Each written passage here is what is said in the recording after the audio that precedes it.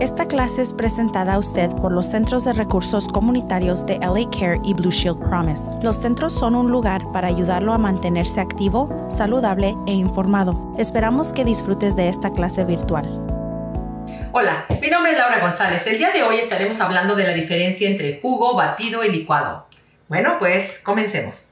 Los batidos, jugos y licuados se encuentran entre las bebidas preferidas de gran parte de las personas en todo el mundo.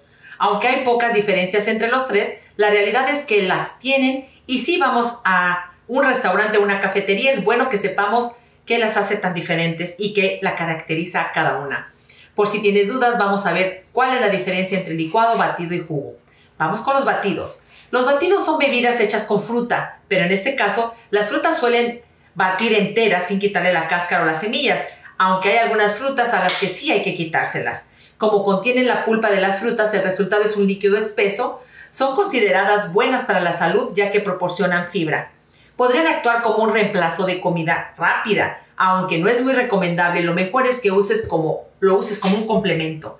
Tienden a ser más ligeros que muchos otros alimentos, por lo tanto es recomendable con comida antes o después de ejercitarse.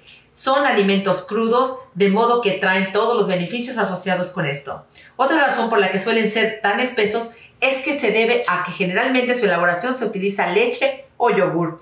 A los batidos que se les echa hielo rallado o frutas congeladas se les conoce como smoothies. En algunos lugares también se les hace llamar como raspados, cuando están hechos de frutas con hielo. Los jugos.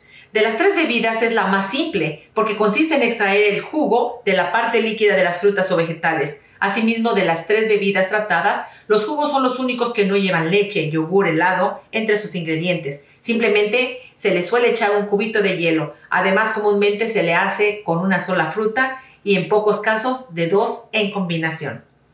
Como no contienen fibra de las frutas, casi siempre gran parte de los nutrientes se pierden en el proceso de extracción. Los jugos no reportan gran beneficio a la salud o a una dieta saludable. Incluso si se desea bajar de peso, por lo recomendable es evitarlos, ya que pues contienen mucho azúcar.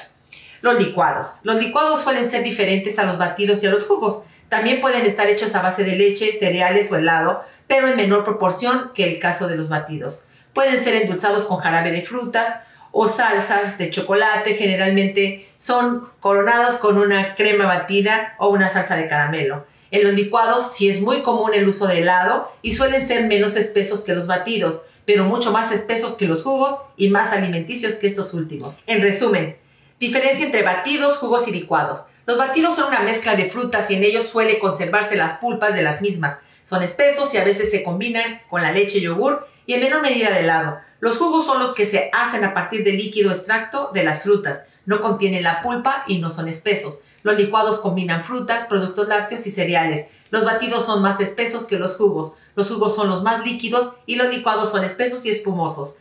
Los batidos suelen ser altos en carbohidratos pero bajos en grasas y proteínas. Los jugos podrían aportar algunas vitaminas y minerales. Los licuados pueden aportar una buena cantidad de calcio y proteínas y generalmente son altos en calorías. Esta bebida natural cuyo consumo se recomienda en las mañanas es una combinación de ingredientes saludables que aportan grandes cantidades de vitaminas, minerales y antioxidantes. Si bien no es un remedio milagroso para controlar alguna enfermedad, este batido puede ayudarnos a mejorar la salud. Es fundamental que también sigamos una dieta equilibrada, hacer ejercicio y otros hábitos saludables y consultar a su médico o a su dietista registrada antes de cualquier cambio en su alimentación. Y bueno, vamos a, a elaborar el delicioso licuado. El día de hoy vamos a utilizar fruta congelada. Yo escogí un mixto tiene un poquito de todo, tiene fresas, tiene piña y tiene duraznos congelados. So, vamos a poner esto, va a ser como, vamos a hacer como un smoothie. Vamos a agregarle el yogur kefir, un poquito de yogur, también está un poquito congelado. Podemos agregar también un poco de almendras que están previamente tostaditas. Y podemos agregar también un poquito de miel de agave. Y estamos listos para licuar este delicioso licuado.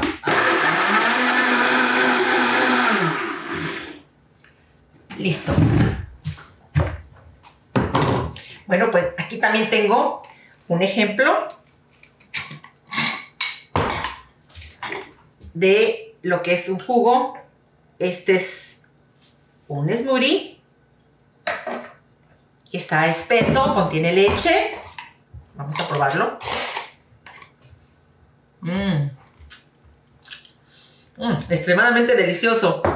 Tenemos un, un jugo, un licuado y un batido. Recuerden que el jugo es la extracción sin fibra. Este no tiene fibra, es la pura extracción de los nutrientes en un extractor. Este está en una licuadora con todo y todo y fibra. Y este es un smoothie.